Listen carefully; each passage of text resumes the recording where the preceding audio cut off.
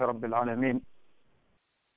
الحمد لله الذي لا إله إلا هو واحد لا شريك له فرد لا مثل له صمد لا ند له أزلي القائم أبدي دائم هو الأول ليس قبله شيء والآخر فليس بعده شيء وهو الظاهر ليس فوقه شيء وهو الباطن ليس دونه شيء ليس كمثله شيء وهو السميع البصير. أشهد أن لا إله إلا الله وحده لا شريك له وأن سيدنا محمدا عبده ورسوله وصفيه من خلقه وخليله. اللهم صل على محمد وعلى آل محمد كما صليت على إبراهيم وعلى آل إبراهيم وبارك على محمد وعلى آل محمد كما باركت على إبراهيم وعلى آل إبراهيم إنك حميد مجيد. أيها أتباع رسول الله أوصي نفسي وإياكم بتقوى الله. فاتقوا الله ما استطعتم. واعلم أن الفوز للمتقين حيث قال الله سبحانه وتعالى يا أيها الذين آمنوا اتقوا الله حق تقاته ولا تموتن إلا وأنتم مسلمون. وقال تعالى يا أيها الذين آمنوا اتقوا الله وقولوا قولا سديدا يصلح لكم أعمالكم ويغفر لكم ذنوبكم ومن يطع الله ورسوله فقد فاز فوزا عظيما. وقال تعالى أيها الناس اتقوا ربكم الذي خلقكم من نفس واحدة وخلق منها زوجها وبث منهما رجالا كثيرا ونساء. واتقوا الله الذي تساءلون به والأرحام. إن الله كان عليكم رقيبا. أما بعد baada ya kumshukuru Mwenyezi Mungu Subhanahu wa Ta'ala na kumwomba Mwenyezi Mungu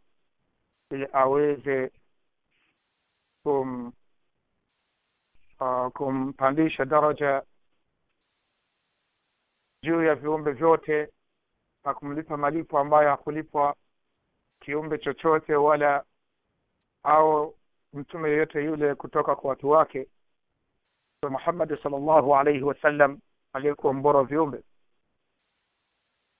Insha allah tunaomba Mwenyezi Mungu atujalie tuwa ni watu ambao tunasikiliza tunafuata yale yaliyokuwa mazuri natuomba Mwenyezi Mungu aweze kufungua nyoyo zetu aweze kuzifungua zijaze na ilmu azipendezeshe nyoyo zetu kwa imani na imani zetu azifanye ziwe nguvu kwa kwa kumtegemea Mwenyezi Mungu Subhanahu wa Ta'ala. Inshallah kwanza tutarejea kidogo katika muraja ambayo tulio ambayo tulio ya kumbushana wiki iliyopita kuwa kwa sababu mada yetu kila siku tunavyozungumza ni tauhid tutaendelea kila siku. Tunaendelea kido, tuchukue kidogo kidogo hadi ambapo Mwenyezi Mungu atakapotuwezesha uh, kuchukua kadri atakayo ametukadiria yeye mwenyewe subhanahu wa ta'ala. Pia katika kuzungumza kwanza kufahamisha kwamba mimi sio alim uh, mimi ni miongoni mwenu ili isipokuwa tunafanya nini tunakumbushana kunako yale Mwenyezi Mungu Subhanahu wa Ta'ala ametufikishia. Kile kiwango tunacho katuhusishia kwamba tuendelee tunafanya nini? Tunakumbushana. Fadhakir faina dhikra tanfa'u lilmu'minin. Kumbushe na hakika ukumbushe utawafaa waaminifu. Na tauhidi kama nilivyozungumza na mwanzo tulichagua sababu gani? Kwa sababu waislamu wakati huu tunakimbilia mada zingine tunasahau tauhidi na tauhidi ndiyo ambayo ndiyo mbegu au asli ya ya iman au asli ya uislamu. Sababu vitendo vitakataliwa kwa sababu ya tauhid na vitendo vitakubaliwa kwa sababu ya tauhid. Na mwenyezi mungu aliwatuma mitume ni kwa sababu ya tauhid. Na mitume walipigana vita au jihadi kuwa ni, kwa sababu ya tauhid. Na kwa hiyo sa ndio maana mwislamu anapaswa kuijua tauhidi vilivyo ili aweze kumwabudu mola wake subhanahu wa taala bila kumshirikisha na chochote kile. Insha allah tulianzia kwenye aya mwenyezi mungu anazungumza wama khalaktu ljinna walinsa illa liyabudun. Na hakika hatukumuumba hatukuwaumba uh, majini au wanadamu isipokuwa ni kwenye kwa sababu ya ibada. Na tulisema kwamba wasahaba mwenyezi mungu awaridhie wote hii aya illa liyabudun isipokuwa kwa ibada walifahamu kwa maana nyingi lakini zote zinajumuika kwa maana tatu ambazo tulizichagua. Ya kwanza illa liarifuni isipokuwa kunijua mimi. Maana kumwabudu mwenyezi mungu inakupasa umjue. Hauwezi kumwabudu ipasavyo isipokuwa wewe ukimjua mwenyezi mungu subhanahu wa taala. Wa illa liyutiuni isipokuwa wanitii na ibada ukishamjua wewe itakupeleka umtii. Maana yake ukimjua pia unapaswa kufanya nini? Kumtii. Na ibada yako inataka pao nini? Utiifu ndani yake. Na wamejua tena kwa maana illa liwahiduni isipokuwa wanipwekeshe. Na isipokuwa wanipwekeshe maana yake we mwenyezi mungu subhanahu wa taala ukimjua kisha ukamtii. Katika utiifu wako na kumjua kwako basi wewe unampwekesha mwenyezi mungu subhanahu wa taala. Na ndiyo maana tulisoma mwenyezi mungu akasema katika kitabu chake qul inna salati sema hakika sala zangu wanusuki na vichinjo vyangu au na kujitolea kwangu muhanga kila na kujitolea kwangu kwa aina yote ile wa mahyaya na maisha yangu wa mamati na kufa kwangu lillahi rabbil alamin ni kwa ajili ya mwenyezi mungu subhanahu wa taala. La sharika lah asiyekuwa na mshirika. Maanake mambo hayo unayatekeleza kwa ajili ya mwenyezi mungu na mambo hayo mwenyezi mungu haumpi mshirika. Kwa hiyo ndio tumeumbwa kwa sababu illa liyabudu, ndio maana yake. Na tukisema kwamba kumjua mwenyezi mungu tunasema kumjua amaarifa. maarifa. Kwanza maarifa yamegawanyika aina tatu na aina tatu aina ya kwanza ni maarifa mtu anapaswa kuwa nayo ya kumjua mwenyezi mungu subhanahu wa taala. Na maarifa ya pili ni mja anapaswa kumjua mtume wake muhammadi salllahu alaihi wasallam au mtume wake. Na maarifa ya tatu ni mja kuijua dini yake kwa ushahidi.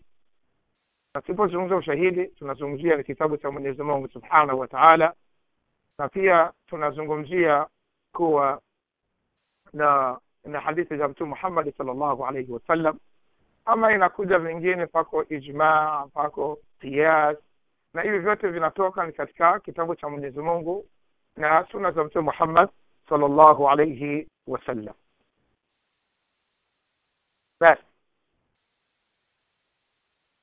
Baada ya kujua hapo tukasema hiyo ndio misingi mitatu mikubwa ya dini ambapo utakuta ta uh, imam abdulwahab rahimahullah aliandika kitabu kinaitwa al-usuli thalatha yani yani misingi mitatu au foundation tatu. Hizo foundation tatu hizo ndiyo misingi ya nini? Ya uislamu. Kwa hiyo hiyo misingi mitatu ya uislamu unapaswa ku mwislamu kui, kuisoma na kuifahamu. Kuijua dini yako na kumjua mtume wako na kuijua dini yako kwa ushahidi. Kwa sababu watu wengi ikiza kumjua mwenyezi mungu basi huwa tunataka tumjue kutokana na matamanivu yetu. Ukitaka nani kuijua kumjua mtume wetu basi unakuta mtume tu tumemzungusha na matamanivu yetu sio kama ilivyo tuamrisha yeye. Ukija kujua dini yetu tunafata dini yetu kwa kujua kwa matamani yetu tunavyotaka sisi dini iwe ndio tunataka dini iwe. Lakini sio hivyo.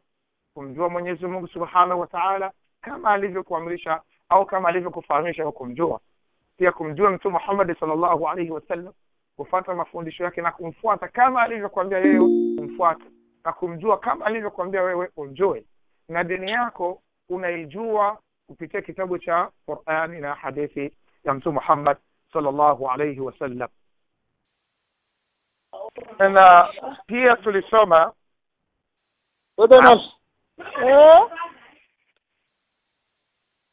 naam.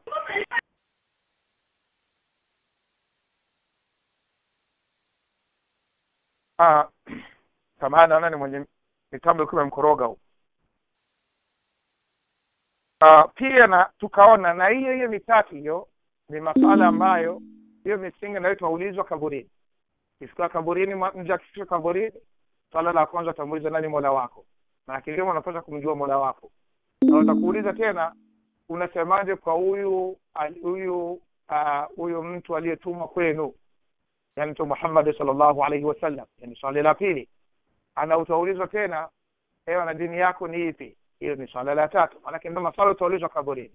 Na ndio maswala ambayo unapaswa kujua na ndivyo ambavyo unapaswa kutekeleza dini yako. Na hiyo tena tunasema kwamba kumjua mwenyezi mungu subhanahu wa taala tulianzia mwenyezi mungu tunamjua kupitia kwa njia tatu.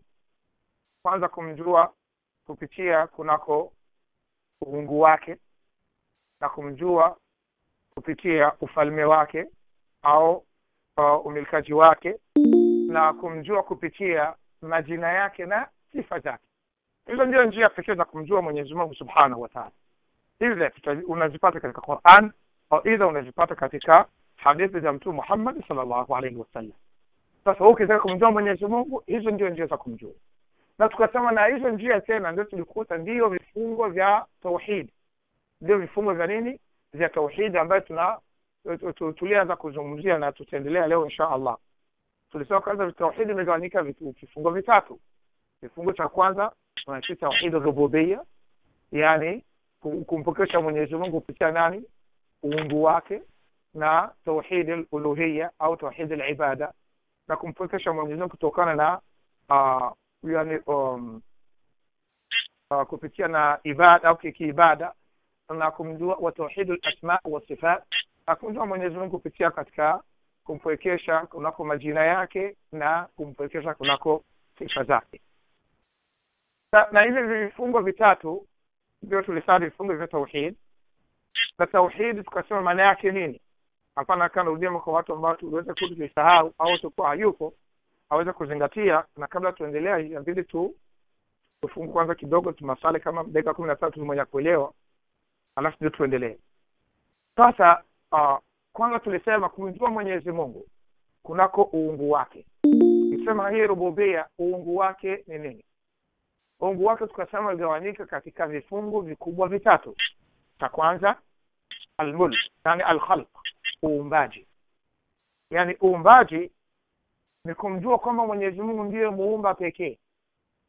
Hakuna mtu yoyote yule au, au mtu yoyote yule au kitu chochote kile au maana yoyote ile ina ushirika katika uumbaji. Yani hakuna kitu ambacho kipo na chenye hakipo chenye kipo mwenyezi mungu subhanahu wa taala kakiumba. Venye tunaona na venye hatuoni venye tunajua na venye hatujui. Vipo vyote ni viumbe. Na vyote vimeumbwa na mwenyezi mungu subhanahu wa taala. Kwa hiyo usimjalie mwenyezi mungu mshirika ya kuumba kitu. Au kumjalia mtu kumpa ushirika katika uumbaji wa kitu chochote kile. Namba mbili. Yani almulk. Katika kikundi cha pili katika nini? Ufalme wake tukisema ufalme ni katika kumiliki au kumiliki au umilikaji wake. Tunaposema katika umiliki ni kwamba mwenyezi mungu ndio anamiliki kitu chochote kile. Utakachokiona kwako ni kizuri au ni kibaya au ni kikubwa au ni kidogo au vyovyote utakavyoona kitu chochote kile ni milki ya nani? Ya mwenyezi mungu subhanahu wa taala. Yani hakuna kitu. Kiumbe kutoka mwanadamu au mnyama au mmea au kitu chochote kile hali wakati ha? isipokuwa mwenyezi mungu subhanahu wa taala kaviumba na ni viumbe vya nani? Vya mwenyezi mungu subhanahu wa taala. Kwa hiyo usimjalie mshirika katika umil, umilikaji wa kitu chochote kile. Na tatatu tulisema ni kwamba atadbir atadbir yani ni mpango. Mwenyezi mungu huwa ndio huwa ana, ana mipango kila kitu. Mwanadamu utazaliwa sitaishi hivi hivi tutakuwa na hivi kiumbe hicho kitaishi kita, kita, hivi kitafikia hivi kitaishi hivi umri wake kadhaa manufaa yake kadhaa madhara yake kadhaa. Vitu vyote mwenyezi mungu viko katika mpango wa mwenyezi mungu subhanahu wa taala. Utakuwa tajiri utakuwa maskini utakufa uko mdogo utakuwa siku hivi vyote hivyo ni mpango wa nani wa mwenyezi mungu subhanahu wa taala kwa hiyo usimjalie mtu yoyote kuwa na ushiriki yani na ushiriki au kuwa yanawezekana ana uwezo fulani au pawa fulani ya katika mpango wa mwenyezi mungu subhanahu wa taala hapo ndio una- unakusudia nini uumbaji kwanza uumbaji pili ufalme wake au kumiliki tatu ndio mpango au kupangilia. Vyote hivyo ni vya mwenyezi mungu subhanahu wa taala. Ukifanya hivyo hapo umefata hapo ume- umemkwekesha mwenyezi mungu subhanahu wa taala. Lakini ukiwa utakwenda ukampa mshirika kikauli kwa maneno au eh, eh, eh, kwanza ku- kuamini kiimani au kikauli kwa kuzungumza kama tamshi au kivitendo ukampa mshirika ukampa mshirika kwa hivi hivyo hujua kwamba umeingia katika shirki maana yake wewe hujatekeleza nini? Tauhidi. So, inshallah kwa hizi dakika tano kwanza mtu akiwa kuna penye kuelewa au iko na swali kwa hayo mambo anaweza akauliza kabla hatujaendelea. Insha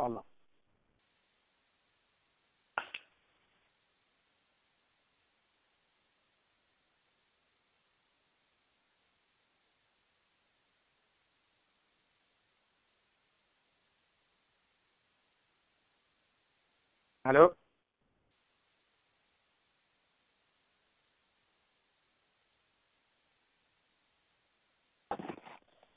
Jina niko sawa shekh naelewa vizuri yani Sheikh. Maana yake niendelee mm, vizuri sana alhamdulillah mm. haya na tukagusia sasa kifungu ambacho cha muhimu zaidi sana mwislamu anapaswa kukijua tukasema kwamba tunapozungumza kwamba mwenyezi mungu kumwabudu maana yake hivi vyote ni vitendo. Hivi vyote ni nini? Ni vitendo. Kwanza kabla ya kuenda kuvitenda ibada tulipitia wakati tunaisha maana nini maana ya ibada? Unaposema mimi na- namwabudu mwenyezi mungu au unaposema mwenyezi mungu amesema hakutuumba isipokuwa kumwabudu yeye. Watu wengi kama nilivyozungumza hapo hapo mwanzo tunakimbiliaga kufikiria kwamba ibada ni tasbih ibada ni kuswali. Hivyo ni miongoni mwa ibada. Lakini ibada kama ibnu taimia rahimahullah alifahamisha kwamba ibada ni kila kitu chochote kile. Kitu chochote kile cha aina yoyote ile. Mwenyezi mungu anakipenda na anakiridhia. Ikiwa ni maneno au vitendo vya siri au dhahiri hiyo ndiyo maana ya ibada. Yaani ikiwa ni kauli ikiwa ni kauli au kuamini au kitendo midhali mwenyezi mungu anakipenda na anakiridhia basi hiyo ndiyo ibada. Maanake wewe unapozungumza kumwabudu mwenyezi mungu ufahamu kwanza unataka uwe na fahamu kwanza ifahamu fahamu kwamba ibada ni kila neno utakalolizungumza au kila tamko utakalotamka au kila kitendo utakachokitenda. Mwenyezi mungu anakipenda na anakiridhia hiyo niyo hiyo ndiyo ibada. Hiyo ndiyo ibada. Ikiwa siri au dhahiri. Hiyo ndiyo ibada. Sasa na katika uislamu na katika uislamu ibada sasa hivi tunasema hivi ibada au vitendo vya ibada hivi vimegawanyika mafungo mangapi? Ibada imegawanyika mafungo matatu. Ibada imegawa au vitendo imegawanyika vifungo vitatu samahani sio ibada vitendo. Vitendo vimegawanyika mafungo matatu. Kifungo cha kwanza. Kifungo cha kwanza ni roho. Yaani kuna vitendo vya roho. Mfano vitendo vya roho ni vipi? Kunuia. Vitendo vya roho ni vipi? Kupenda kukataa kuchukia kukasirika ku uh, yani kuwa na na na, na, na um, uh, kiburi. Uh, yani hivi vitu vyote ni vitendo vya nini? Vya moyo kutarajia mungu kumtegemea mungu kumtarajia hii yote ni vitendo vya nini? Vya roho. Na mara nyingine huwa watu tunachukua vitendo vya roho tunakwenda kuvipa ulimi tunachukua vitendo vya roho tuna yani tunaweka kama utafikiri roho yani lazima kwanza ujue kwamba roho ina vitendo vyake. Na hivyo vitendo hivyo inapaswa sasa wewe uvifanye. Mfano unasema kupenda. Unampenda mwenyezi mungu subhanahu wa taala na mtume wake. Na unapenda na uaminifu hayo mapenzi yako unajalia kwa watu. Ikifika kuchukia unachukia ukafiri. Unachukia ukafiri na ukafiri na mwenye kufanya ukafiri na mapenzi yako yanakuwa kwa mwislamu yaani kwa, mwaminifu. Inakuja kwa kuchukia. Usichukie isipokuwa kwa ya kumchukiza mwenyezi mungu subhanahu wa taala. Ikija kutoa kuna kutoa. Kama ukipenda kutoa huwe na ukarimu ndani ya roho yako basi unapendelea kutoa kutoa kwa ajili ya nani ya mwenyezi mungu. Na ikiwa utakuwa bakhili basi una bahili kwa ajili unakuwa yani ubakhili wako unakuwa kwa ajili ya mwenyezi mungu. Utapendelea hii. Yaani hivi vyote inakuwa ni vitendo vya nini vya vya roho hii kupenda kufanya hivyo. Na kuna vitendo tena vya ulimi. Na kuna vitendo tena vya nini? Vya ulimi. Na vitendo vya ulimi ndio kusoma Qur'an tasbih kufanya da ku- ku- ku- kumlingania mtu kutoa dawa kusema maneno mazuri. Hiyo yote ni vitendo vya nini? Vya vya ulimi. Sasa kuna na kuna mengine kuna kutukana sijui kuna kuna kusema maneno mabaya kuna hayo yote ni vitendo vya ulimi. sasa hivyo vitendo nabakia navyo sasa midhali Mwenyezi Mungu yeye anapenda vitendo vizuri. Sasa wewe unafanya vile Mwenyezi Mungu anavyopenda inakuwa ni ndio nini? Ndio ibada. Ama ukitumikisha ulimi kunako yale Mwenyezi Mungu anayechukia hii inakuwa ni nini? Inakuwa ume- umeasi nani? Mwenyezi Mungu Subhanahu wa Ta'ala. Ama kwenye roho uki, uki, roho yako ukiweka e, ukatumia vitendo vya roho kuna vile Mwenyezi Mungu anavyopenda hiyo umefanya ibada. Na ukitumia kuna vile Mwenyezi Mungu anavitukia na ujue kama umefanya nini? Umefanya maasi na kuna vitendo tena vya viungo mikono miguu masikio nini. Yaani hivi watu unavitumia kunako Mwenyezi Mungu vitu anavyovipenda na ukivitumia kunako Mwenyezi Mungu vitu havipendi basi ujue umefanya umetumikisha viungo hivyo kunako maasi ya kumaasi nani Mwenyezi Mungu Subhanahu wataala sasa inafisha ufahamu kwamba makundi haya matatu roho yangu ulimi wangu na viungo vyangu. Vitendo vyote hivi kazi yake vinapaswa kufanya nini kumwabudu Mwenyezi Mungu Subhanahu wa Ta'ala. Kwa sababu sema khalaqtu al-jinna wal insa illa liya'budun. Sikuwaumba majini na watu isipokuwa kufanya nini? Kuniabudu. Sasa roho yako ijalie iwe katika vitendo vya kumwabudu Mwenyezi Mungu. Na ibakie uitenge mbali kunako vi- vi- vitendo vyake vya kumwasi nani? Mwenyezi Mungu. Ulimi utumie katika maneno ambayo ni ya kumwabudu nani? Mwenyezi Mungu na pia utenge ulimi na kutika maneno ya kumwasi nani? Mwenyezi Mungu. Na vitendo vyako viungo vyako uvitumie katika vitendo vya kumwabudu nani? Mwenyezi Mungu Subhanahu wa Ta'ala. Na uvitenge mbali kunako maasi ya kumwasi Mwenyezi Mungu Subhanahu wa Ta'ala. Na hivi sasa vitatu hivi ndio tunavyoita imani. Ukisikia imani sasa imani ime- iko katika hivi vitu vitatu أهل السنة والجماعة. ذاتك إيماني ونسمى الإقرار آه، آه، الإقرار بالقلب أو الإيمان التصديق بالقلب. كوامين نانيني؟ ناموريو. آه، والنطق باللسان. نكتم كانيني نوليمي. والعمل بالجوارح. نفيتندو كوا كتمية فيونغوزياكو معناها كسنسا إيمان. كسودي كاميريكي ahlu, sunna wal jamaa wanasema kwamba ni vitendo vyako. Namba moja imani yako iwafiki. Yaani unakiamini. Namba mbili kisha unazungumza una unatamka. Tatu kisha viungo vyako vina vinashahidilia hicho kitendo. Maana yake unaweza kusa ibada nzuri ni ipi? Ibada iliyokamilika ni ipi? Ni ibada ambayo moyo wako uliamini na vitendo vyako na ulimi wako ukaja unasadikisha na vitendo vyako vikawafiki ikiwa vitu vyote vitawafiki kwako hii amali moja basi hiyo ujua umefanya amali saleh lakini ikiwa umefanya kitendo hukiamini moja kwa moja inakuwa ni unafiki fanya kitendo hukiamini ikiwa unakipinga hii ni nini? Ni unafiki au unaamini halafu unaamini, kisha alafu sasa unazungumza, kisha ulete nini vitendo hapa. Sasa utakuwa katika watu ambao wana wanajidhulumu wenyewe, umeona? Yani umekuwa katika miongoni, mfano kama wale nani, Mtume Muhammad sallallahu alaihi wasallam man min ulamaina falahu shay'un au falahu shay'un wa shibhu min ulamai banu Israil, katika mtu atakayepotea katika wanachuoni wetu, basi ajue kwamba ana kitu cha kufanana cha wana wa Israeli. Kwa sababu wana wa Israeli hawakuwa na upungufu wanaendiwa elimu. Hapana. Walikuwa na elimu lakini walikuwa na upungufu wa nini? Wa kutenda vitendo vyema na upungufu kunako imani. Hivyo ndio upungufu wako upungufu wao ulikuwa. Sasa wewe unapoamini kitu cha namba moja kwanza unaamini. Ukishaamini kisha unakizungumza na kukizungumza viko vingine vitendo unasema ah, sasa kizungumza vipi vipo vingi lakini utavizungumza kama hauwezi kuvizungumza basi utavilingania watu. Uta, utaweza kutumia ulimi wako kwa kuwafundisha watu ikiwa ni, ni, ni ibada ikiwa ni nini. Utawafundisha watu waweze kujua ulimi una, una, una kazi nyingi sana. Basi kitendo kichema ni, ambacho roho ime imeamini. Yaani roho kabisa imeamini imetulia. Kisha na ulimi ukafikiana na roho ukazungumza yani ukazungumza iliyokuwa moyoni.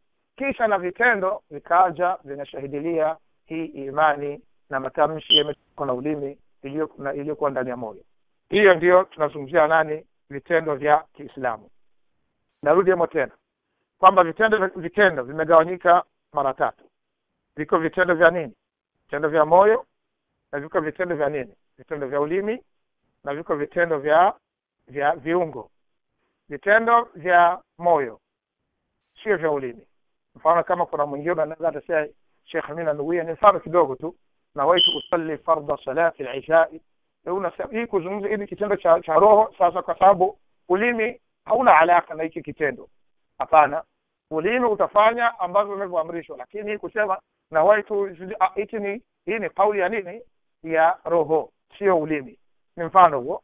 Alafu sana ulimi unapokuja Allahu akbar unasali kwenye unasali unafata kusali unasali tasbihi unafaa tasbihi nafasi ya dua unaomba dua hivi ni vitendo vya ulimi?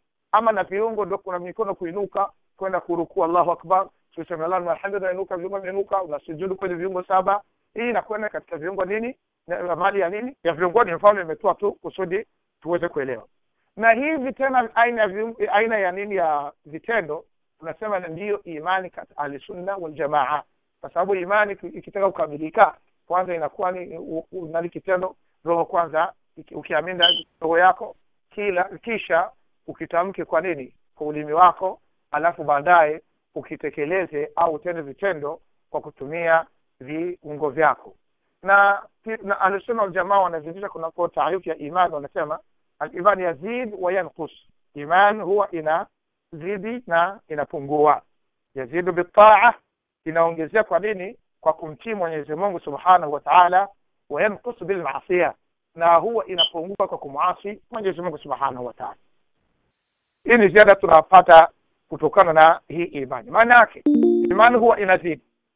Sasa maana yake wewe mwislamu huwa wewe uko na ufunguo wa kuzidisha imani yako au kuipunguza kwanza una namna ya, ku, ya, ku, ya, ku, ya kumpokesha mwenyezi mungu kwa kufanya ibada iwe ibada yako iwe ni ibada kamilifu kwa ajili ya mwenyezi mungu.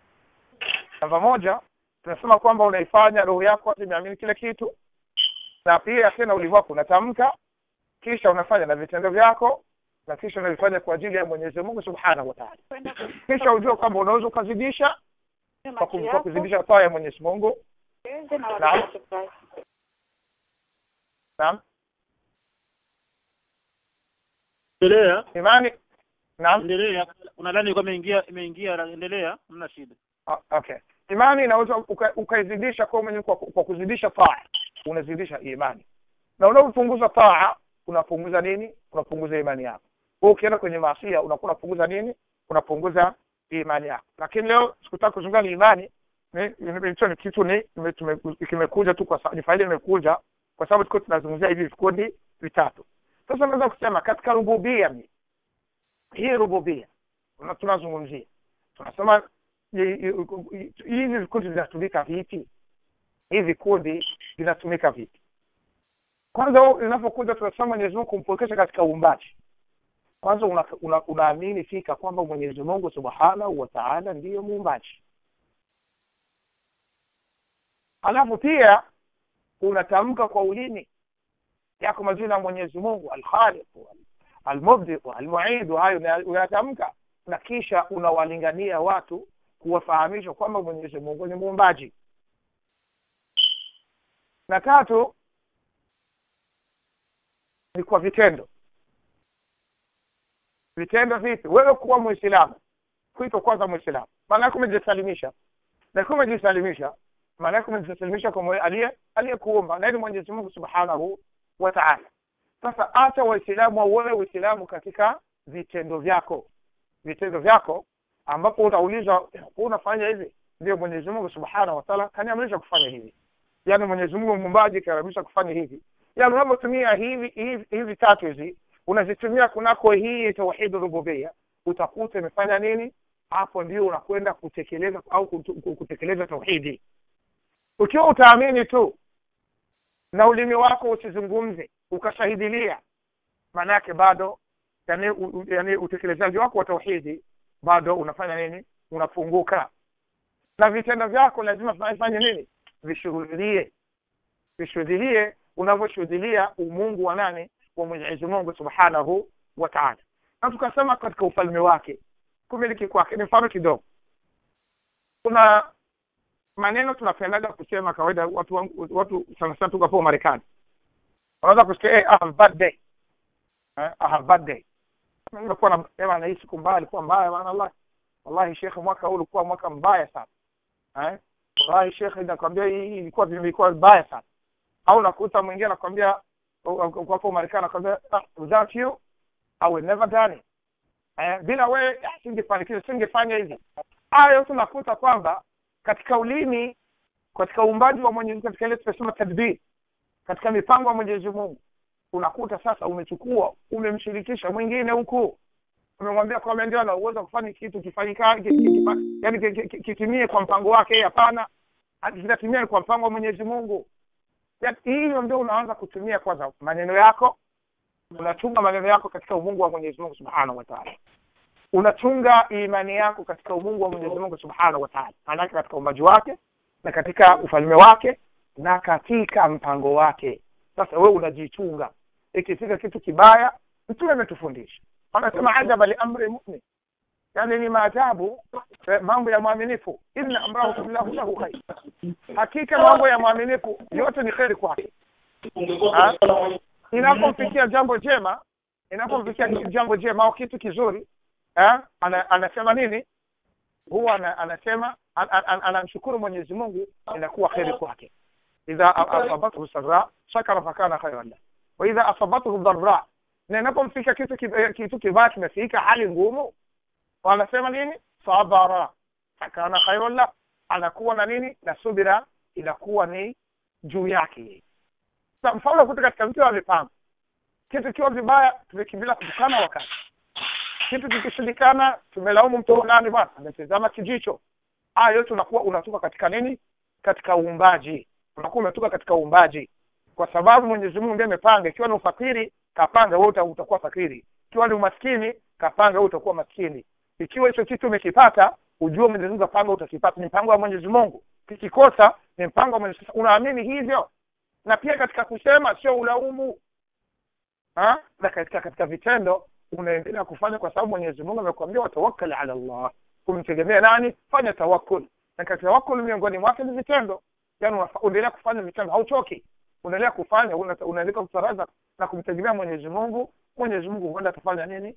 Atafungua. Sasa elewa kwamba hivi vifungo vitatu vya ibada. Tumesema ni roho na ulimi na viungo. Uviweke katika ibada ya nani?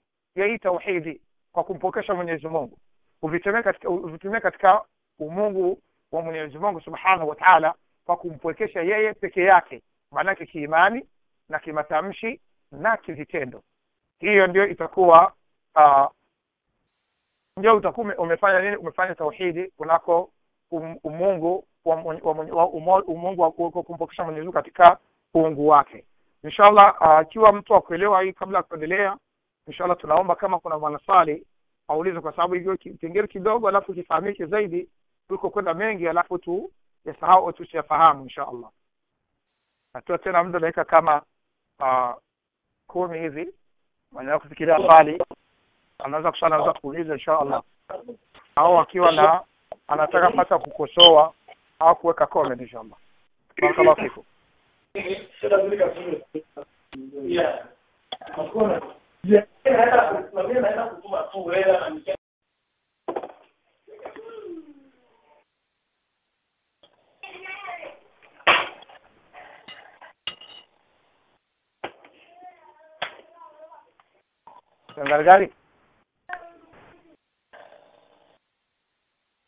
Eh? Naam Sheikh. Naam naam. wa, wananisikia wanisikii Ah, vizuri, labda salamu labda. yani. tunakusikia shekh mimi nasikia vizuri Ah, ndio nimesema Sheikh Karoleo. naam Ah, ndugu yako Sheikh Hussein huku. Ah, barakallahu fika Sheikh Sheikh Hussein assalamu alaikum Sheikh Wa alaikum salaam wa rahmatullahi. Nipendelea tu kufahamisha kwamba mashaallah tuko kwenye line kabisa vizuri. barakallahu fika Sheikh jazakallahu khair Naam. Ikiwa kuna swali au kukosoa au comment kwa hiyo tumezungumza kwa, kwa sababu ni kitu cha lazima sana tufahamu namna ya kuitumia tauhidi. Sio kuisoma tu tunaisoma bila kuitumia. Hapana. Ndio maana tunakwenda taratibu mtu afahamu na kuitumia na tuweze tukasoa baadhi ya makosa tunayo ya tunayofanya kila siku. Na sana sana tunavyoishi katika tunavyoishi katika nchi ya washirikina yako maneno mengi ya shirki viko vitendo vingi vya shirki inshallah. Inshallah mtu akiwa na swali au kukosoa au inshallah tafadhal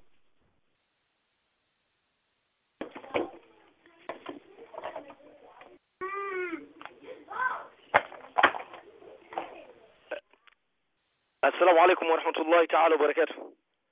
waalaikum salam warahmatullahi wabarakatuh Eh, kwanza nijitambulishe labda insha Allah kwa jina ni uh, Hussein Hussein Sangiumva allah barakallahu fik shekh wat na kwanza ninatoa shukrani nyingi sana kwa ndugu Sheikh uh, na ndugu mkarimu Omar kwa barnamiji masha Allah na istidafa ya ya barnamiji hii ambayo ni ifada kubwa sana katika jamii. Alhamdulillah Allah kulipeni kila la kheri yani. Naam, na nilipendelea tu insha Allah katika uh, kumwomba ndugu uh, Karorero masha Allah katika mada ambayo ni nzito sana. Naam na uh, uzito wake ni kwamba alhamdulillah kipengele cha kwanza ambacho tumezungumzia kwamba tendo au matendo ambayo yanaambatana na na roho. Na, na jinsi ilivyo ilivyogawa matendo hayo nilipendelea insha Allah kama mtajaaliwa siku nyingine insha Allah hata katika hilo la kwanza na hizo hizo roho mzigawe pia katika njia tofauti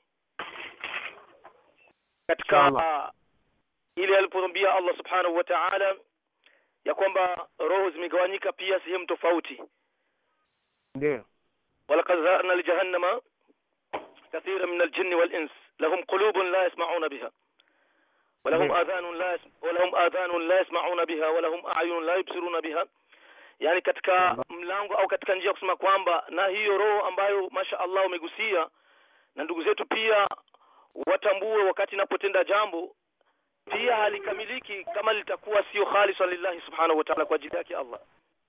Naam. Eh, kwa hiyo insha Allah yani ni katika pia shida tu ya kukamilisha hicho hicho hicho kipengele cha kwanza masha Allah kwa sababu kina uzito wake sana.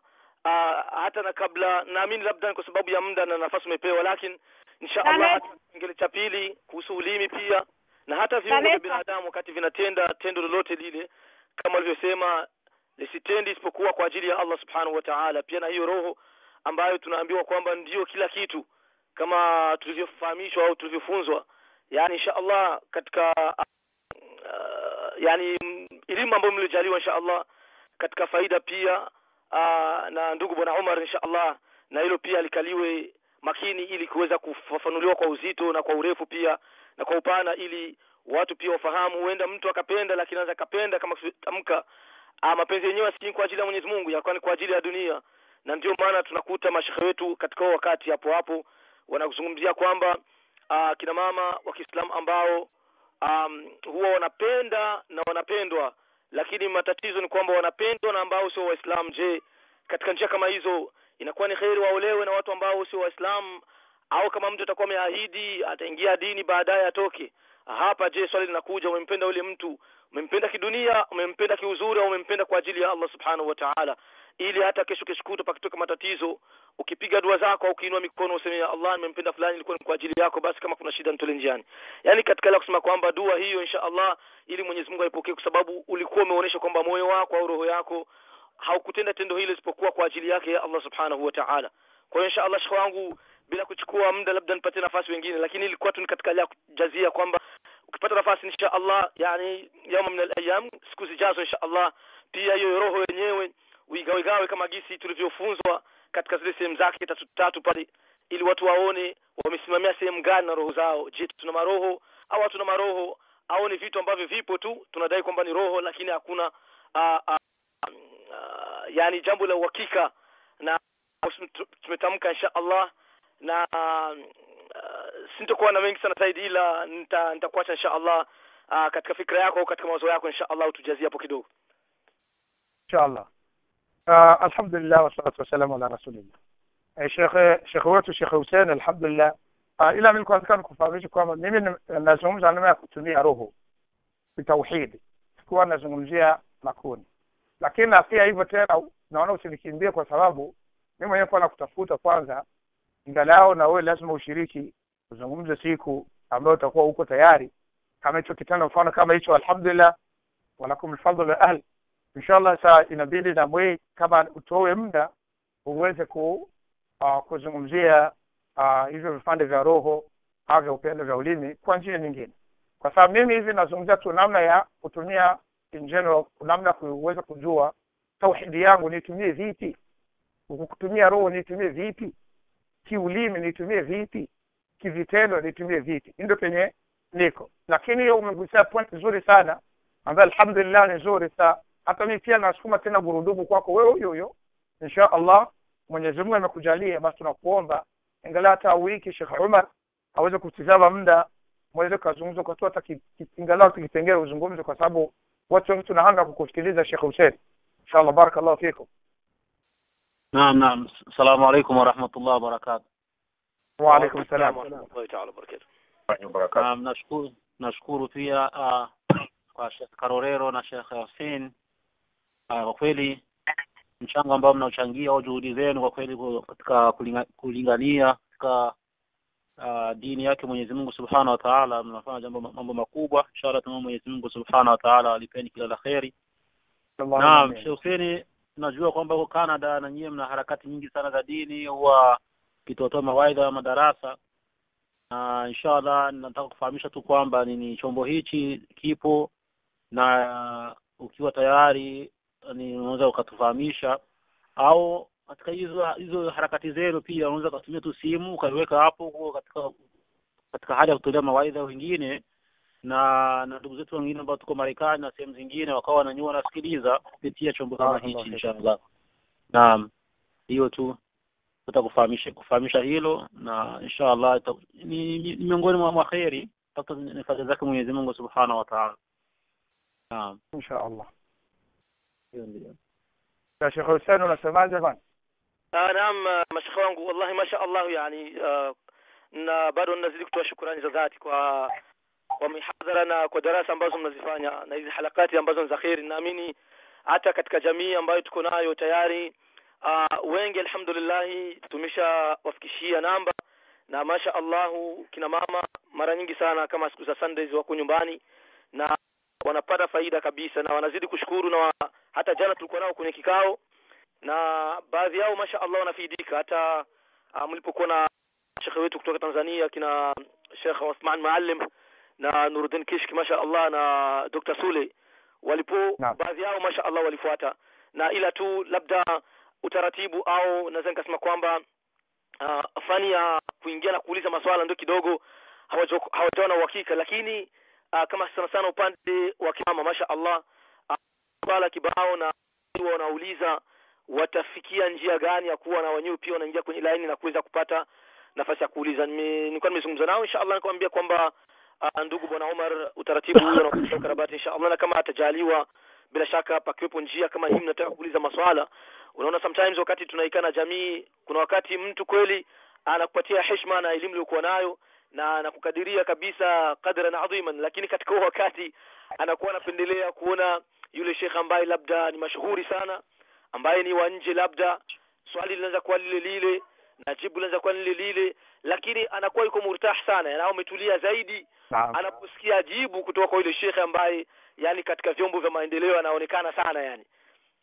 Na mimi huwa nasema alhamdulillah kila la kheri. Basi tu midhali wewe jibu lako milipata, na kwa hiyo insha Allah Sheikh Omar, uh, kwa msaada wako na ndugu bwana Karolona wote ambao mnajitahidi wallahi kufanya jambo hili uh, tutabaki na mawasiliano insha Allah na lolote lile ambalo tutaliweza kusaidizana na ndio yale Mwenyezi Mungu anatuambia wa'tasimu bihablillahi jami'an wala tafarraqu wataawanu ala Sahih. albirri wattaqwa katika njia ya kusaidizana katika ya kheri hapa duniani na katika wema. Yani insha Allah nitakuwa niko na nyinyi katika njia zote bila shaka yani.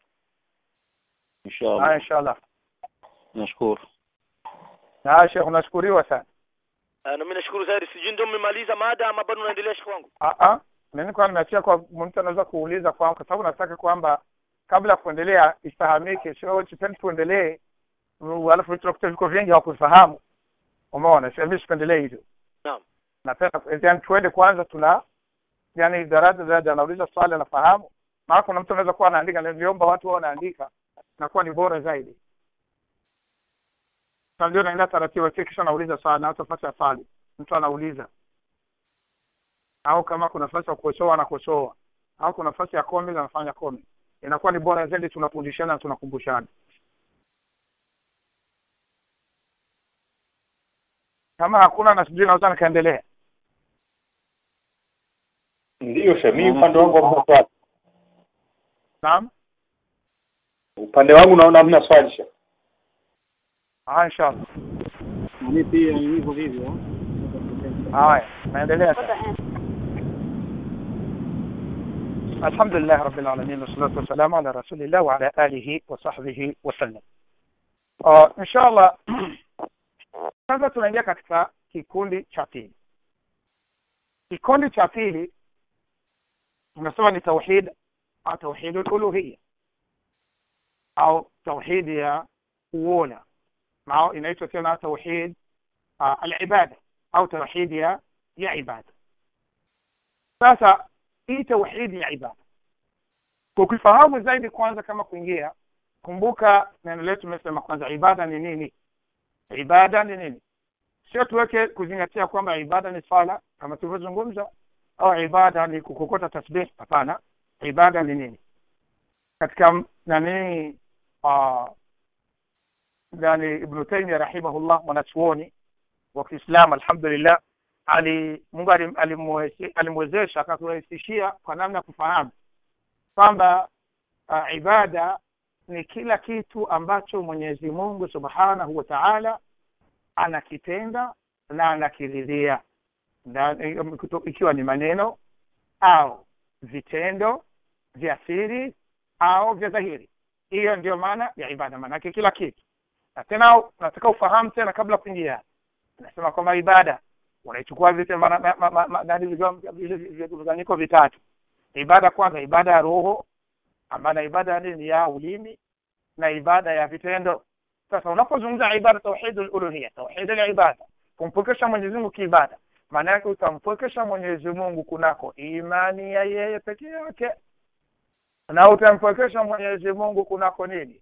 Kunako uh, kunako maneno yao maneno yako unayoyasema na au usemi isipokuwa yale aliamrisha na anapenda na na utampokesha Mwenyezi Mungu kunako vitendo vyako katika vitendo anavyovipenda anavyofanya anavyoviridhia.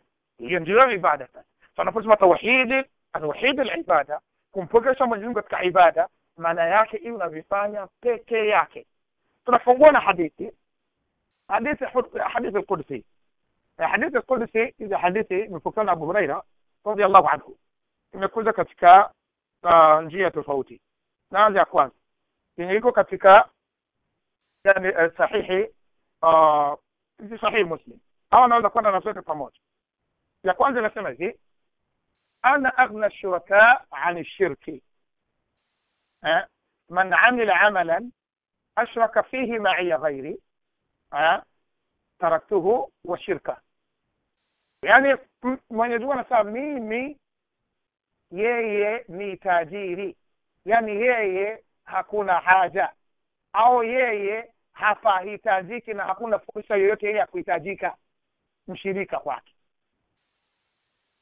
Sababu watu tunahitajia mshirika kwanza kabla ya kuendelea. Kwa nini tunahitajia mshirika? Ikiwa mfano sio nisaidie hapa nakusudia kwamba nimeshika hii ncha ile siwezi sasa uishika kule.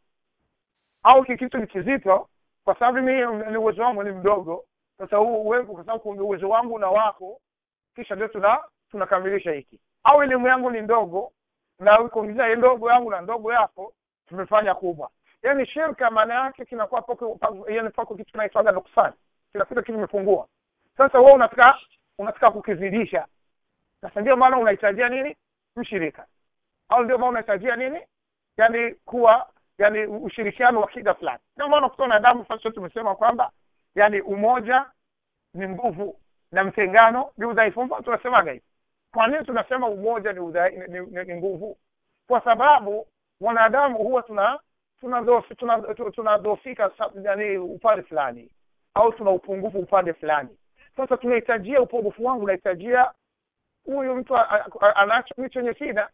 Sasa chenye nacho na kuongezea chenye shida akipata kwa huyu na yule na yule na yule na yule na yule sasa tunakusanya tuna, tuna, tuna tunakusanya, kisha sasa ndio tunakuwa na nguvu ya kitu fulani. Sasa mwenyezi mungu subhanahu wa taala yeye kakamilika. Mwenyezi mungu akamilika kwa njia yote kwa kitu chochote kwa aina yoyote. Sasa wewe utakaposema kwamba umemjalia mshirika maana yake unaona kwamba kuna nuksani fulani hai. Na unaona kama mwenyezi mungu umemsifu kwa nuksani fulani. Mfano kidogo. Mtu unasema kwamba kampa kamshirikisha mwenyezi mungu. Umemwabudu mwenyezi mungu hapa alafu tena unakwenda kumuuliza mganga hii ni mfano huo. Maana yake hapo mwabudu mwenyezi mungu unamwambia mwenyezi mungu kwa haya haya ni yako. Ama haya mwenyezi mungu bwana we huyawezi nampelekea huyu. Ndio maana ndio inaitwa shirki. Kwa sababu umechukua uwezo wa mwenyezi mungu ukampa mtu mwingine hauwezi. Sasa kwa hiyo katika kumwomba mwenyezi mungu ni ibada. Sasa umemshirikisha yaani unusu umechukua umesema kwa mwenyezi mungu ikubali kwa mwenyezi mungu ama vingine unaipa mtu fulani ataiweza umeona? Sasa katika hii sasa katika ibada kabla ya kuingia kwanza antajala ibada kullahu lillah. Kwanza ibada yote. Ifanye kwa ajili ya nani? Ya mwenyezi mungu. Hii ndio sasa kuna tauhid ibada kumpotesha mwenyezi mungu. Sasa na ibada au katika tauhid haitatimia isipokuwa pako negative na positive negative na positive. Yani vitu tunafanya al-isbat eh, an-nahyu wal-isbat mfano tunaposema la ilaha illa Allah tukisema la ilaha ukichukua maana yake maana yake hakuna Mungu. Umekataa kabisa umekataa kabisa. This is tunaita nafyu yani umekataa umekaana kabisa hakuna mola. Hakuna yoyote ile afasa kuabudiwa kwa haki. Hakuna mtu yoyote kuitwa mungu apaswa kuabudiwa kwa haki sasa tunakuja illa isipokuwa allah mwenyezi mungu. Kwanza hapo kumefanya nini? Annafyu umekataa. Alafu ukafanya nini? Ukathibitisha al-ithbat. Maanake lazima kwanza pawe kwanza kukana na kufanya nini? Na kuthibitisha au kukubali na kuthibitisha. Sasa mimi unasema shahada msema nema unasema shahada la ilaha muhammad rasulullah una yani unasema kama hakuna mola pasaka kuabudiwa kwa watu isipokuwa nani? Mwenyezi mungu. Alafu haukumwabudu ikiwa hukumwabudu sasa vitendo vyako havijakamilika kwa sababu ibada kwanza cha kwanza umeshakana umethibitisha sasa mwabudu sasa sasa wewe unapo tunapozungumza tauhid al-ibada kumpwekesha Mwenyezi Mungu kunako ibada. Namba moja kwanza yani unajalia. Al-ibada. Hii ibada yani ya kumtii Mwenyezi Mungu na vile Mwenyezi Mungu amekataza navyo tena ni ibada. Yaani kuna vile vya kumwasi Mwenyezi Mungu. Alikataza utafanya ibada kwa, ku, kujitenga navyo na vile Mwenyezi Mungu kaamrisha ni ibada utafanya ibada kwa kuyatekeleza. Sasa ndio tunaita nini?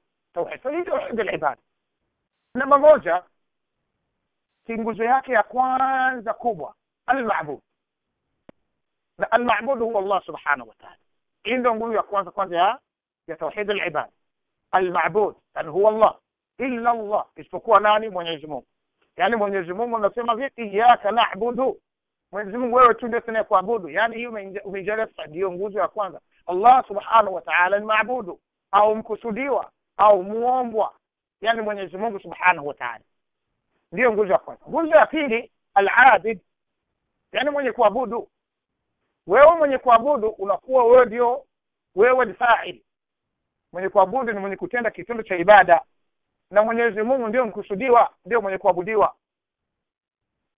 Sasa wewe unapofanya vitendo usifanye vitendo vyote au chochote kile isipokuwa umemkusudia mwenyezi mungu subhanahu wa taala. Ndio maana mtume akatufundisha akasema innama lamalu biyati hakika vitendo ni kwa nini? Ni kwa nia. Kwa nini nia? Nia ndio inakuwa umemkusudia unamkusudia nani? Mwenyezi mungu subhanahu wa taala. Sasa wewe kwanza namba moja unamkusudia mwenyezi mungu. Na ukitaka kitendo ibada iwe ni ibada na wanachuoni wengi wameweka sharti kwamba sharti ya ibada lazima kwanza nia. Nia bila nia ibada haichukuliwa na utoa ushahidi katika hiya innama lamalu biniyat wa likuli likulli mriin manawa hakika mwanadamu atalipwa kutokana na yale aliyokusudia na aliyenuia nia yako wewe sasa hapa ndio inakufanya nani upate ibada yani upate thawabu kwa mwenyezi mungu au ukose thawabu. Kama hukuweka nia kitendo chako kitakuwa ni nini? Ni adi ni kitu cha kawaida umefanya haijawa ibada. Lakini kukusudia kwako wewe unamkusudia nani? Mabud sasa umekuwa abid sasa na mabudu mwenyezi mungu subhanahu wa taala. Na nguzo ya tatu na nguzo ya tatu inafanya nini sasa uh, ataabud. Ataabud. Kwanza mabud ni mwenyezi mungu subhanahu wa taala na hapatikani maabudu isipokuwa yeye. Pili abid wewe kumwabudu mwenyezi mungu. Wewe kumwabudu mwenyezi mungu subhanahu wa taala haumkusudii mtu yoyote yule haumlengi mtu yoyote yule na ibada yako isipokuwa ni mwenyezi mungu subhanahu wa taala. Tatu ataabud. Ataabud ni kuabudu. Sasa kuabudu haumwabudu mwenyezi mungu unavyotaka hapana. Mwenyezi mungu katuma mtume na kateremsha vitabu kwa namna ya hii taabudi ya hii ibada. Sasa wewe ile ibada lazima uifahamu sasa. Ikiwa wewe utamwabudu mwenyezi mungu utamkusudia kisha wewe ndio uta, uta, uta, utamwabudu. Alafu wewe ndio utafanya hii ibada. Kwanza ifahamu ibada. Umeshamfahamu utakayemkusudia sasa pia sasa unajihusisha kwa kufahamu hii ibada. Ibada unaifahamu? Ikiwa ni swali unafahamu kuswali ina masharti yake sijui janii ya sijui ya nguo sijui ya usafi ya kuelekea yote hayo unafahamu sijui ina ina ina ina ina ina nguzo zake unazifahamu. Sijui ina ina wajibu zake unazifahamu. Sijui kuna sunna unazifahamu. Sasa wewe kwanza hii taabudu unaifahamu sawa sawa. Unafahamu nini hii التعبد.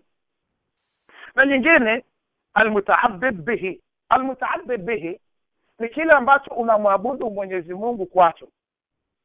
Ni kile ambacho unamwabudu mwenyezi mungu kwacho. Na utakuta ndicho ibada. Sasa kwanza ibada kisha uijue hiyo aina ya kuifanya hiyo ibada. Kisha na umjue yule unayemkusudia. Unayemkusudia alhamdulillah iko wazi ni mwenyezi mungu subhanahu wa taala. Na umejua namna ya kumkusudia kwa sababu ni mja na maanake usimshirikishe katika kumkusudia katika ibada yako usimshirikishe mtu mwingine. Alafu pia sasa hii ibada yako ukaijua. Kwa sababu gani? Kwa sababu mwenyezi mungu haridhii kuabudiwa isipokuwa kwa, kwa, kwa, kwa, kwa sheria aliyoiweka. Au kwa ibada alivyoshurukisha yeye aabudiwe ndio unavyomwabudu. Sa ndio maana wewe mwislamu unapasha kwanza kuisoma ibada yako uifahamu. Ukishaifahamu sasa hiyo ibada ndiyo uifanye kutokana na aina mtume muhammadi salllahu alaihi wasallam katufundisha sasa tunakuja kwanza kwanza tumesema kwanza almabud umekusudia ni mwenyezi mungu labid ndiyo wewe alafu tano tatu ataabud namna ya kuabudu sasa hii namna ya kuabudu nataka ni nisimame pale katika kitabu cha uh, kitabu tauhid ibnu taimia rahimahullah uh, aliweka vipengele katika ataabud cha kwanza alisema atadhallul lillahi subhanahu wa taala. Yani kujidhalilisha. Kujidhalilisha yani maanake kila ibada kwanza ukitaka kuifanya hii taabudi ibada iwe ndama sika ukifanya cha kwanza uisogelee kwa kuifanya na kujidhalilisha kwa sababu ya mwenyezi mungu subhanahu wa taala peke yake yani ibada inakusudia na nini? Na kujidhalilisha nanga utakuta ibada nyingi utakuta zinaanza hivi. Takbira tunaingia allahu akbar na mikono. Ana una nini? Alama ya kujisalimisha mbele ya mwenyezi mungu. Una unakubali ukubwa wa mwenyezi mungu. Na unakubali kwamba wewe ni nini? Wewe ni mdhalili mbele ya mwenyezi mungu subhanahu wa taala. Vile vile ibada yoyote ile, il- yoyote ile. Kwanza unaianza na nini? Na kujidhalilisha kwa ajili ya mwenyezi mungu subhanahu wa taala. Cha kwanza kwanza atadhallulu lillahi. Alafu hii taabudu unaenda pili unasema bifili awamirihi. Mwenyezi mungu kuna namna amekuamrisha katika ibada. Kwa hiyo kwa kufanya maamrisho yake wakati wowote ule ujue kweli kunafanya taabud na katika ile ibada yote ile mwenyezi mungu kuna hivyo ameamrisha wewe umwabudu.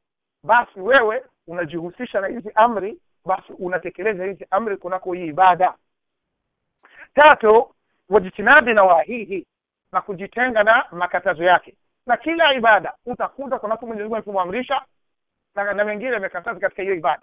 Au ki- kiujumla kwa hali yoyote ile mwenyezi mungu makatazo ya mwenyezi mungu na maamrisho ya mwenyezi mungu. Sa ibada yoyote ile ukitaka kuisogelea unataka kuifanya ibada kwanza hakikisha kwanza unaifanya kwa udhalili kwa ajili ya mwenyezi mungu pili pili ufate maamrisho mwenyezi mungu anavyotaka ili ibada ifanyike. Tatu ujitenge na yale mwenyezi mungu amekataza katika ibada yasifanyike yasifanyike alafu nne mahaba yani mahabatan lahu. Yani ui- uifanye kwa kupenda. Yani unampenda mwenyezi mungu subhanahu wa taala. Unaifanya kimapenzi na kimapenzi ya zile ya mwenyezi mungu subhanahu wa taala.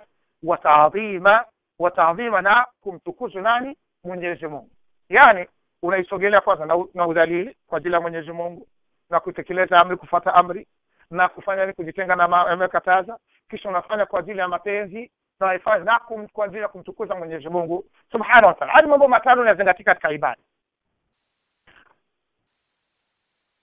Hii ndio ataabud ataabud tunasema ni kwamba kwanza wewe unaifanya kwa atadhallul lillah yani moja yani kujidhalilisha?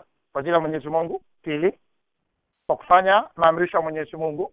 Kufata maamrisho ya mwenyezi mungu ikiwa ni katika ibada moja yenyewe au wakati wote ule yaani wewe unakuwa umeji kila siku wewe ni kwa kufata maamrisho ya mwenyezi mungu. Na wajtinabi an nawahihi na kujitenga na katika makatazo mwenyezi mungu kakataza ikiwa ni katika ibada au wakati wote ule wakati ule au katika ibada yote ile unajitenga na kati unajitenga na yenye mwenyezi mungu akakataza, kisha ibada hiyo unaipanda kwa ajili ya upendo wa kumpenda mwenyezi mungu. Unapenda kufanya ile ibada kwa sababu unafanya kwa yule unampenda ndio maana unapenda hii sababu ya taabudu ndio inakufanya unajikurubisha kwa mwenyezi mungu kwa kumwabudu yeye. Sasa unaipenda hiyo ibada. Unampenda mwenyezi mungu. Sakisha nao unam unamwadhimisha au kwa kumtukuza allah subhanahu wa taala. Naam. Sasa unaweza kusema sasa ni mizani gani ambayo naweza kuona kwamba mimi nimetekeleza kweli ibada? Naona kama nimetekeleza. Namba moja. Ukitaka kuishi kwa hiyo na- uh, ibnu taimia rahimahullah amesema fala takunu lighairihi abda wewe usiwe mja wa mtu yoyote yule kitu chochote kile au maana yoyote ile. Ila wewe ni mja wa nani wa allah subhanahu wa taala fala takunu lighairihi abda usipime kuwa mja wa kitu chochote kile mja wa mtu yoyote yule mja wa maana yoyote ile sawa ikiwa oga sawa ikiwa kifo sawa ikifo ikiwa aina kitu aina yoyote ile yaani wewe kwanza mwenyezi mungu subhanahu wa taala uko mja wa mwenyezi mungu yaani ikiwa ni kifo kitakuja wewe haukopi kifo unamwokopa nani unamwokopa mwenyezi mungu subhanahu wa taala hiyo ndiyo uh, uh, yani tunasema kwamba yani uh, uh, ma- yani, kwa, uh, kwa kumpenda mwenyezi mungu na kumwadhimisha uh, ama almutaabid bihi tumeiona ni kama vile ibn Taymiyyah amesema ismu jami likulli ma yuhibbuhu Allahu ويرضاه من الأق... من الأقوال والأعمال ظاهرة وباطنة ni jina ya kila kitu chochote kile uh, Mwenyezi Mungu anakipenda na anakiridhia kutokana na vitendo au maneno yakiwa dhahiri au ya siri. Ndiyo ibada. Sa na ibada inagawanyika aina mbili. Ibada inagawanyika aina mbili. Wako ibadatin dhahira ibada iliyokuwa dhahiri ni ipi? Mtu akisema Allahu akbar asoma Qur'ani unamwona iko anafanya ibada. Na ibadatin albatina. Albatina ndio ibada nini ya moyo. Na ibada ya moyo ndio katika kumpenda Mwenyezi Mungu kumtegemea eh? yani hii Mwenyezi Mungu ndio anajua peke yake. Kwa kumalizia tunamalizia na hadithi ya Mtume Muhammad sallallahu alaihi wasallam Mwenyezi Mungu anasema na Mtume Muhammad anasema hivi thalathu man kunna fihi wajada halawat al-iman mambo matatu au sifa tatu zikiwa zimekusanyika kwa mja basi atakuwa ataidiriki utamu wa nini wa imani. Ayakuna Allahu wa rasuluhu ahabbu ilayhi mimma siwahuma. Kuwa Mwenyezi Mungu na mtume wake yani anawapenda zaidi ya kila kitu. Maana yake hakuna kitu wanapenda zaidi ya Mwenyezi Mungu na mtume wake. Yani mapenzi yake iwe ni hivyo. Wala yuhibba almar illa lillah. Wala hampendi mtu yoyote yule isipokuwa atampenda kwa ajili ya nani? Ya Mwenyezi Mungu Subhanahu wa Ta'ala. Jambo la tatu uh, achukie au achukie kurika ukafiri au ayakara ayauda ila al-kufr kama yakra an an na kuchukia kurudia katika ukafiri au mambo ya ukafiri ka, kama anavyochukia yeye kutupwa nani motoni. Sasa maanaake yote tukiyatizama yanakuja yamejengwa kwa ajili ya msingi ya kumpenda Mwenyezi Mungu Subhanahu wa Ta'ala. Sasa katika ibada tunarudi tena ibada kwa, kwa kifupi. Ibada tunasema tauhid ibada kumpwekesha Mwenyezi Mungu kunako ibada. Maana yake unajalia roho vitendo vya roho, vitendo vya ulimi na vitendo vya viungo vyote vinamwabudu Mwenyezi Mungu peke yake. Yaani kuvipwekesha katika unavyofanya ibada ni kwa ajili ya Mwenyezi Mungu peke yake. Na hii ibada tunasema kwamba wewe ukiwa ni abid mwenye kumwabudu Mwenyezi Mungu unajua maabud Allah subhanahu wa ta'ala ndio Allah subhanahu wa ta'ala. Hakuna mwingine wa kukusudiwa au wa kutegemewa au wa kuabudiwa kinyume na Mwenyezi Mungu subhanahu wa ta'ala. Alafu na wewe ndio mwenye kumwabudu. Alafu tena ataabud kuijua ibada. Na kuijua ibada ibada unapoitekeleza tunasema kwako mambo matano. Kwanza udhalili unajidhalilisha kwa ajili ya Mwenyezi Mungu. Pili kufata maamrisho yake tatu kuacha makatazo yake. Nne ma, mapenzi yako kwa Mwenyezi Mungu Subhanahu wa Ta'ala. Tano kumtukuza Mwenyezi Mungu Subhanahu wa Ta'ala. Na vyote hivi tunasema katika ibada unaweza kuikusanya vyote pamoja hivi utaweza kuvikuta ukichunguza basi vitekelezi katika kila ibada unayoifanya. Na nne almutaaddad bihi ndiyo ibada. Na ibada ni kila neno au kila jambo ambalo Mwenyezi Mungu analipenda na analiridhia ikiwa ni maneno au vitendo dhahiri au vya dhahiri au vya vya siri basi hiyo ndiyo ibada na kumaliza fala takunu lighairihi abadan wala tattakhidhu ghayrahu rabba wala tattakhidhu ghayrahu rabba na wala usimjalie mwingine kuwa mola wako na mola wako iwe ni Mwenyezi Mungu subhanahu wa ta'ala سبحانك اللهم وبحمدك أشهد أن لا إله إلا أنت أستغفرك ونتوب إليك. إن شاء الله كوا كنا صالي أو أو كوكوشوا أو كومنت إن شاء الله. تفضل إن شاء الله. بارك الله فيكم.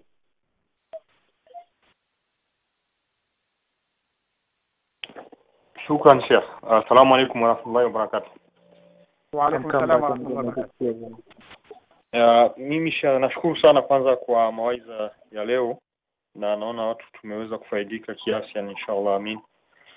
Na swali langu tu kuhusu masuala tu ambayo tumetoka kuzungumzia ni kuhusu hiyo nia yani kwa mfano umetoka kusikia kuwa ibada ni ni vitu vitatu vinaenda na ibada ni kutokana na nia ulimi na vitendo.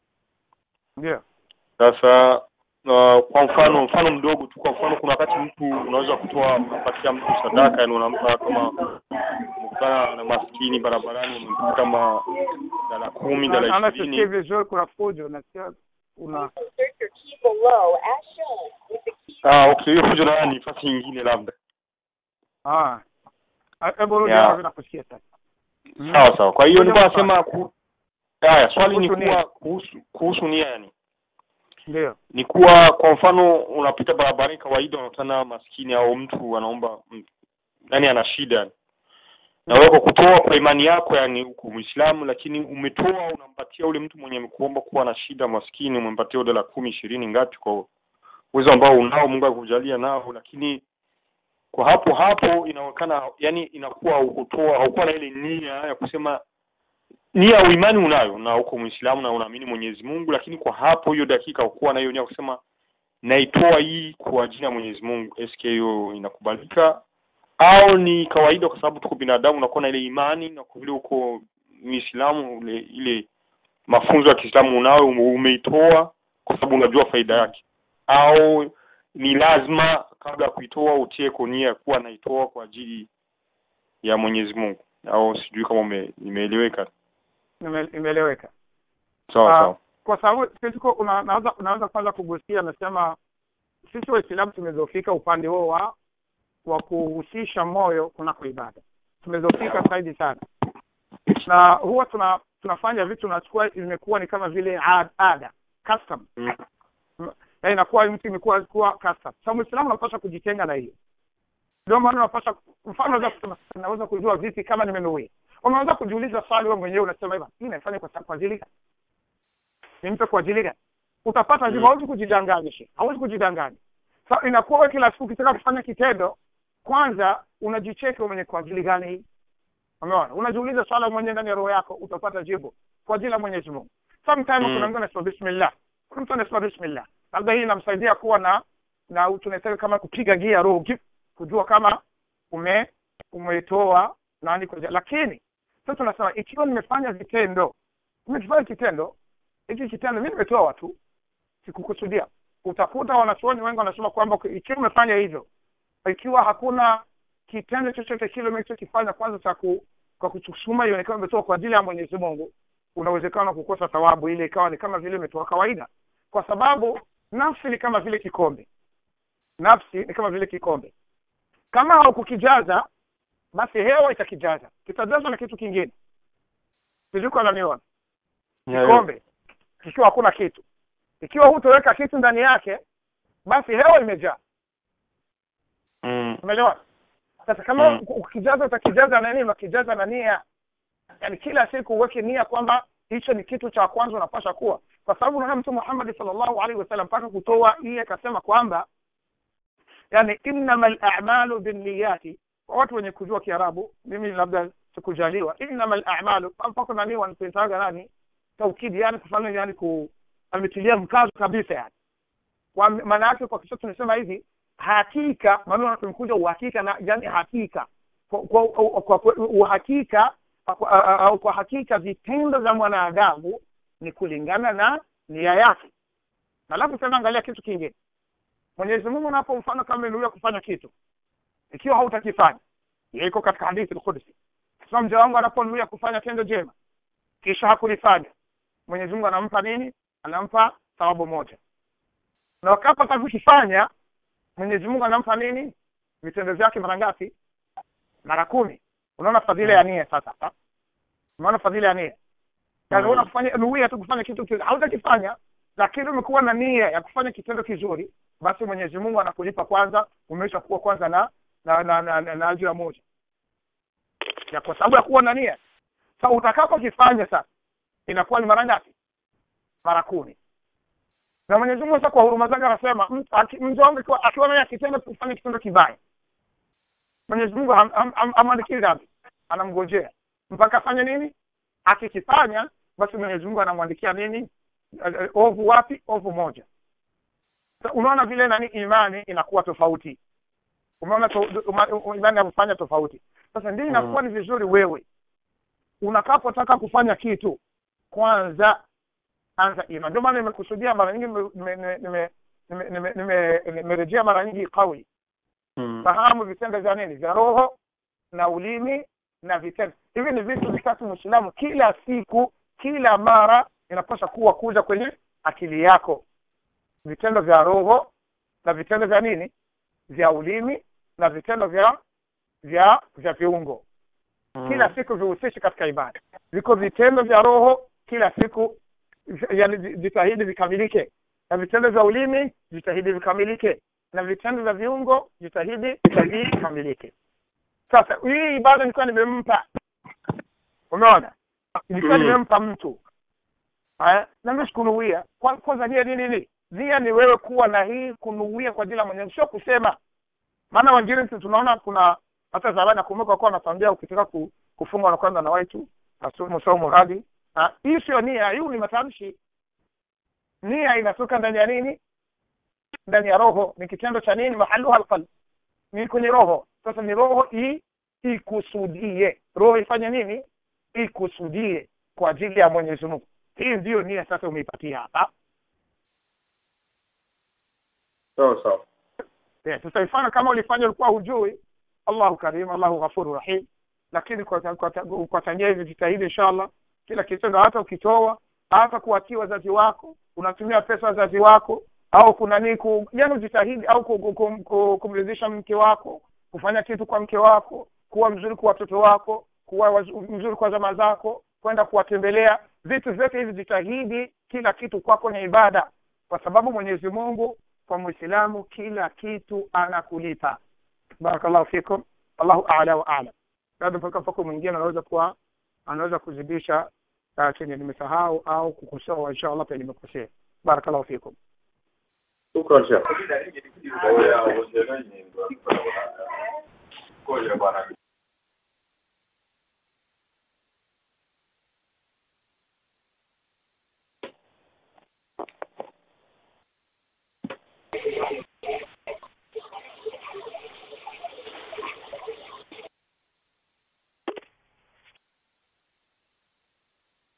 hakuna mtu insha allah alhamdulillah kwa sababu maswali kwa madogo ni afadhali insha allah barakallahu fikum Ya, mi upande wangu naona nimemaliza swala yani sijui kama kuna wengine Ah, insha allah barakallahu fikum Sheikh Hussein Ah, naam shekhe wangu mwalimu hau- hauongezei mwalimu eh, wallahi masha allah yani u- umegusia vizuri tu na kuna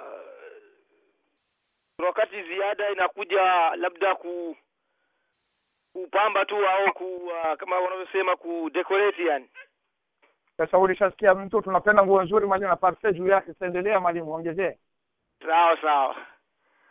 Ah, mimi jambo tu limoja shekhe katika maswala nitagusia katika pointi ya maswala ya ya nia na swali ambalo ndugu ameuliza hapo punde tu na naamini kwamba ni bwana Emedi kama sikujidanganya ndiyo ni mimi shekh ah, masha Allah yani. E, ni kwamba hata katika msemo na kama haitokuwa ni sahihi uh, mapokezi kutoka kwa bwana mtume Muhammad sallallahu alayhi wasallam uh, an-niyatu uh, afdalu min al-amal. Yani ya kwamba yeah. nia peke yake huwa ina malipo mema yaliokuwa mas, mazuri masafi kuliko hata tendo lenyewe. Na masha Allah na mimi naamini kwamba ibada zetu tumezungumzia vizuri sana shekhe zote zinasimamia kwenye nia na kwenye maizi tu yani. Subhanallah. Na hilo linalikumbusha hata katika manuizi ya huyu sahaba ambaye alikuwa amenuia safari ya kutoka Makka akielekea Madina. Aa, mmoja miongoni mwa watu ambao walishindwa kusafiri na bwana mtume sallallahu alaihi wasallam au walishindwa kuhama uh, zama ambapo shida na matatizo ziliwakumba uh, watu wa maka ambao walikuwa Waislamu wakaamua kuhama. Na inasemekana katika historia kwamba ni ndiye mtu pekee ambaye alihama. Baada ya kuwa alikaa muda mrefu yuko maka anajifikiria gisi bwana mtume na masahabu wanakutana wanazungumza wanamuuliza maswala na hali kadhalika. Na akahisi uchungu bila shaka na akahisi kwamba anakosa neema kubwa na neema yenyewe ni ni kile kitendo cha kuswali nyuma bwana mtume sallallahu alaihi wasallam. Akachukua uamuzi wa kusema kwamba aondoke na asafiri ili awakute wao kule pia naye apate ile raha ya kusali na mtume. Lakini subhanallah uh, ikaonekana kwamba manuizi yake kwa sababu alikuwa ni mtu mtu mzima Kongo yani miaka yake hata ilikuwa uh, haimruhusu kabisa kufanya hijra.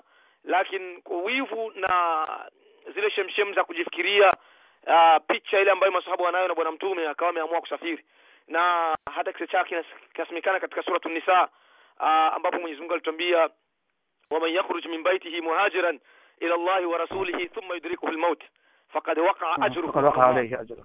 Naam, ya subhanallah, huyu mzee kaondoka, wala yeye alikuwa anajua bana, mimi sina uhakika wa kufika kwa sababu ni mzee, mtu mzima yaani alafu tena jua kali njiani, na ni mgonjwa katika wakati, katika njia yake subhanallah akawa ameanguka kutoka kwenye punda lake alikuwa nalo akawa amepiga dua ameomba dua subhanallah. Na hapo wanavyoona wanasema kwamba dua aliyoiomba ni dua ambayo inaonyesha kwamba Mwenyezi Mungu kamlipa kwanza kwa nia aliyokuwa nayo.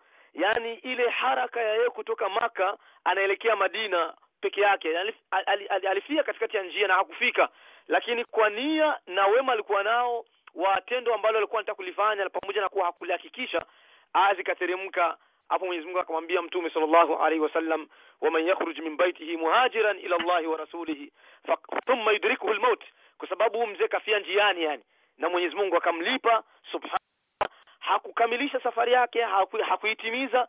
Lakini kwa manu, manuizi mazuri hata inasemekana kwamba Mwenyezi Mungu hakufafanua malipo yake yatakuwa ni aina gani. Ila akasema fa ajruhu ila Allah. Basi malipo yake mtu kama huyo ni kwake Mwenyezi Mungu. Ikamaanisha kwamba malipo yake labda hata malaika wenyewe hawajui watakuwa ni kiasi gani. Yani subhanallah shekhe wangu katika kujazia tu hapo. Ikaonekana kama kweli nia kuna wakati inakuwa ni nzuri kama ume- ume- umetam- umetamka mahalu halqalb. Mtu haioni na ndio maana inakuwa ni vigumu sana mtu kufanya ria.